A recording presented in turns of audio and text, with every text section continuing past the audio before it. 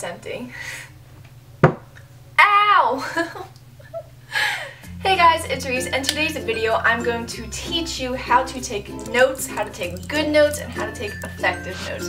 Now this is actually a real video. It's not just going to be one of those girly, YouTubey, oh look at all these light effects that I can put on this clip. No, I'm actually going to give you real tips and real things that I've learned on how to take notes and this is the part of my new back to school series, Reese's School Survival Guide. That's a thing now. I just made it up two seconds ago, so yeah.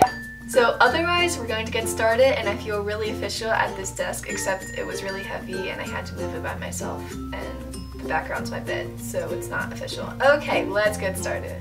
Starting with taking notes in class, a good tip is to see if there's any PowerPoints or any work that you can print out from online that your teacher might post before the actual lecture or whatever it is. I know my teachers always have like a PowerPoint that they follow and they just kind of do a lecture on the PowerPoint but you can print out the PowerPoint before which I think is really really helpful because instead of copying down everything that they say you already have like a basic structure for it so that's just tip number one. But otherwise, if there's nothing you can print out, I'm just going to go out and say it. Write down everything that you see and, he and hear in class. Write down everything the teacher writes on the board, write down everything that they say because you might write down everything that's on the board, but they might have said something that's on the test and you weren't really paying attention because you were writing down everything on the board. So it's okay if they're sloppy, it's okay if they're messy because you can go back later after class or later when you get home and rewrite your notes better to understand. When you're writing from a textbook, you want to outline the textbook and get the main points. You don't just want to reword it in your own words because that's just going to defeat the purpose. Basically, write down the chapter that you're taking notes on at the top of your paper and then for each subheading in the chapter write that as a subheading in your notes and then for the paragraph underneath the subheading write down all of the main points and basically bullet point them in your notes. They shouldn't be very long, it should be concise, and you should be able to reference back to the textbook instead of copying the whole textbook because you already got the textbook there so you don't need to copy it. You actually have to understand what the heck your notes are on. So what I suggest is always write it in your own handwriting because I feel like it's so much easier to read it when you wrote it yourself especially you'll be able to remember it more because you already wrote it once in your notes so it'll already kind of be subconsciously in your mind. But Find a note-taking system that works for you if you like writing everything in your notes as a paragraph, if you like writing it in bullet points, if you like writing it in little chunks on your paper, whatever it is, figure out that works for you. I personally like doing the subheading and then bullet points underneath it because I just feel like it's really easy to read that way.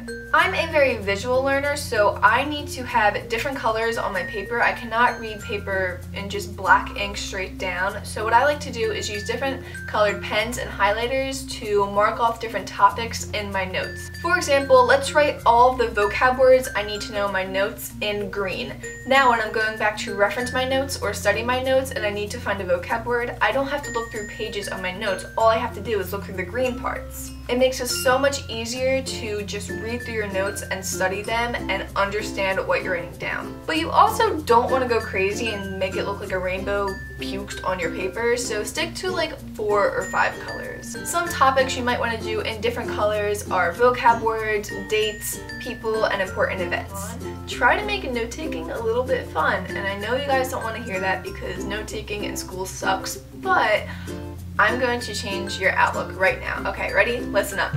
Go to Tumblr or go to Pinterest, type in the tag or hashtag Studyblr, and your mind will be blown. You're going to see notes that you've never seen before. It's going to be beautiful. You're going to be motivated and inspired to take good notes because these people are like magical. I don't know how they do it. So when you're taking your notes, maybe instead of writing a sentence, you can draw it as a picture and it will be easier for you to understand in it, a picture instead of a sentence. You don't want to be distracted and doodle over your pages, but if it's easier for you to see maybe pictures or diagrams or once again colors, then you can draw them and make it a little bit of like a coloring book sesh instead of a studying sesh.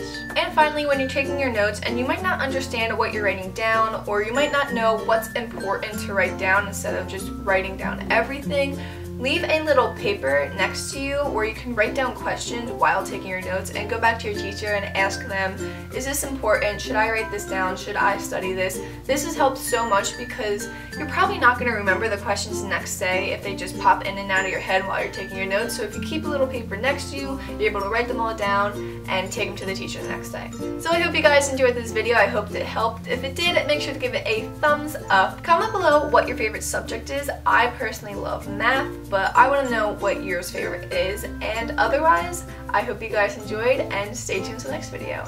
Peace. I can't reach the camera from here, so let's just pretend I'm gonna cover it with my hands. Okay, ready?